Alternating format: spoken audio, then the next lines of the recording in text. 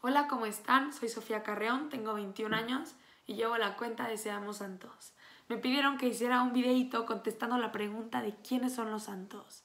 Creo que cuando pensamos en los santos, pensamos en gente extraordinaria, con vidas extraordinarias. Y es que, a ver, piensa en tu santo favorito, no sé, Juan Pablo II, la Madre Teresa, Santa Faustina Kowalska, el Padre Pío, San Ignacio de Loyola, quien sea que sea, quien sea que sea, estoy casi segura que tuvo una vida extraordinaria con circunstancias extraordinarias y dones extraordinarios. Porque es así. Es una realidad que la mayoría de los santos reconocidos por la Iglesia Católica fueron personas extraordinarias y que son ejemplos increíbles y nos ayudan muchísimo.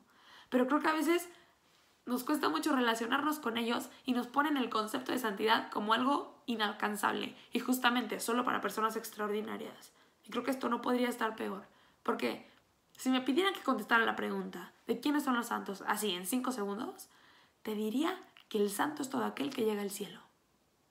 Y esa es la verdad. El santo es todo aquel que llega al cielo. Y chéquense cómo cambia totalmente la perspectiva, porque entonces ya los santos no son solamente esas personas increíbles que tenemos en las iglesias con su estatua y la estampita, pero también todas esas personas que por la fe creemos que ya están en el cielo. Y a ver, piensa en tu tío, en tu abuelo, en tu sobrino, en tu amiga, en algún ser querido que ya se haya muerto y que por la fe crees que ya está en el cielo. Esas personas también son santos.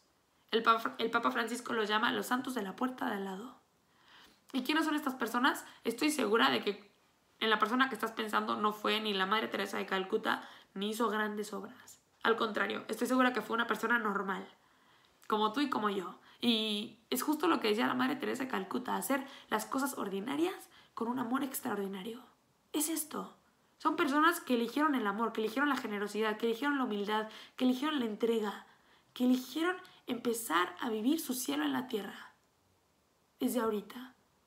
Y que no fueron personas perfectas, estoy segura. Y tampoco los grandes santos de la estampita y la estatua fueron personas perfectas.